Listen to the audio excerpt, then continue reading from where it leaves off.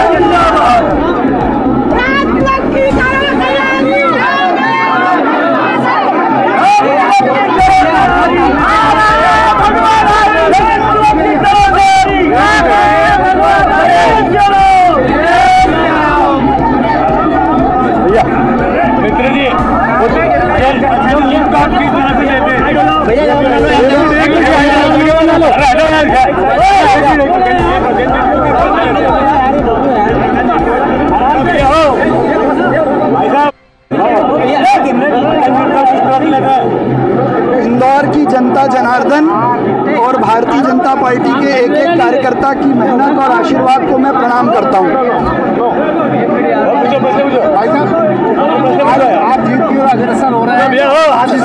आगे काम करेंगे भारतीय जनता पार्टी मध्य प्रदेश के यशस्वी मुख्यमंत्री शिवराज सिंह चौहान, संगठन कौशल और हमारे प्रदेश के अध्यक्ष विष्णु दत्त शर्मा जी, इंदौर के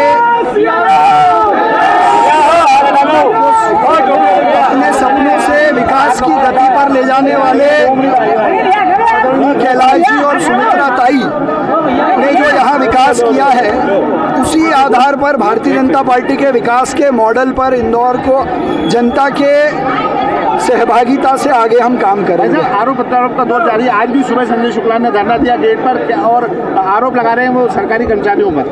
देखिए मैं पिछले तीन दिन से कह रहा हूँ कि केंद्र में प्रदेश में और अब नगर सरकार के चुनाव में कांग्रेस के कार्यकर्ताओं पर और नेताओं पर भ्रम का चश्मा है और जैसे जैसे वो भ्रम का चश्मा उतरता जा रहा है उनकी बौखलाहट घबराहट और चिड़चिड़ाहट बढ़ती जा रही है। मुख्यमंत्री कमलनाथ जी ये कह रहे हैं कि यदि कोई गड़बड़ होती है तो मैं हेलीकॉप्टर से इंदौर पहुँच जाऊँगा और तमाम व्यवस्था उसकी आवश्यकता उनको पड़ेगी नहीं मुझे लगता है।